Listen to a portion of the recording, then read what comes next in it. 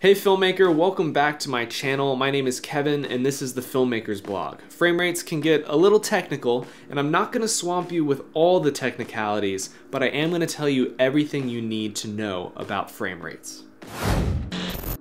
Movies, motion pictures, video, whatever you want to call it, it all comes down to one simple illusion. Video is the succession of individual photos creating a moving picture. Frame rate determines how many photos we see every second. A higher frame rate will have a much smoother picture, while a lower frame rate will have a more jumpy picture. And if you remember the old cartoon days, the old animation days, where they would actually hand draw every single frame, they seemed a little jumpy and that's because they were operating at a frame rate around 12 to 13 frames per second. Compare that to cinema, where it's a lot smoother, they operate at 24 frames per second. Broadcasting to TVs all around the States became very important, but they couldn't send an entire image. It was too big, so they had to split it up into two parts.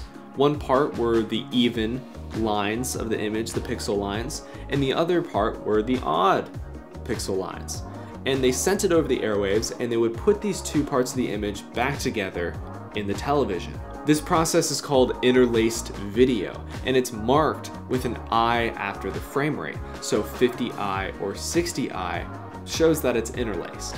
Now honestly, interlaced is not the best way to film. As you can imagine, if you split your frame into two parts and then put it back together, there's a higher chance to have video artifacts or any sort of glitch. The better way to film, especially for filmmakers and anyone that's doing web videos, is to use progressive. Progressive scans, records, or transmits the entire frame at one time. So progressive scans the whole frame at once, while interlaced is half and half.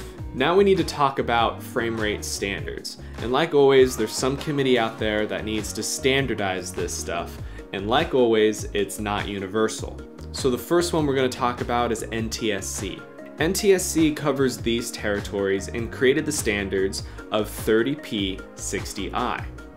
The second is PAL. PAL covers these territories and their standards are 25p and 50i. So the most common NTSC frame rates are 24p, 30p, and 60i.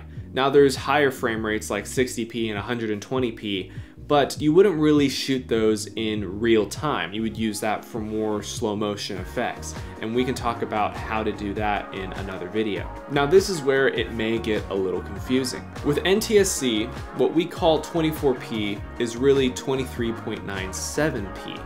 And what we call 30p is really 29.97p. So these are the numerically correct values. When deciding what frame rate you should film at, it's actually quite simple. First off, you probably shouldn't use interlaced because it's not as good, so that's already off the table. Secondly, if you're trying to make something look filmic or cinematic, then you'd want to shoot at 23.97. If you're shooting anything else like corporate, live event, you probably want to shoot 29.97. At the end of the day, you shoot at the frame rate you think is best for the product that you're filming. Now what if you're using PAL? PAL is a little bit simpler because 25 frames per second actually means 25 frames per second. There's nothing fancy you have to do there. And when you're deciding which frame rate to shoot at, you're not going to shoot interlaced, so that leaves you with one option, which is 25 frames a second. The only time you want to shoot 24 frames, like a true 24 frames, is if you're going to convert your digital video onto film. Now, we're probably not going to do that, so don't even worry about it. Now you know all the basics of frame rate. Before you click off, there are some free filmmaking tools in the description of this video, like free lighting diagrams and more. So if you're interested, make sure to check those out. Links are in the description. As always, make sure to leave a comment, like, subscribe, hit the notification bell to be notified when my next video drops, even though you already know it's every Friday.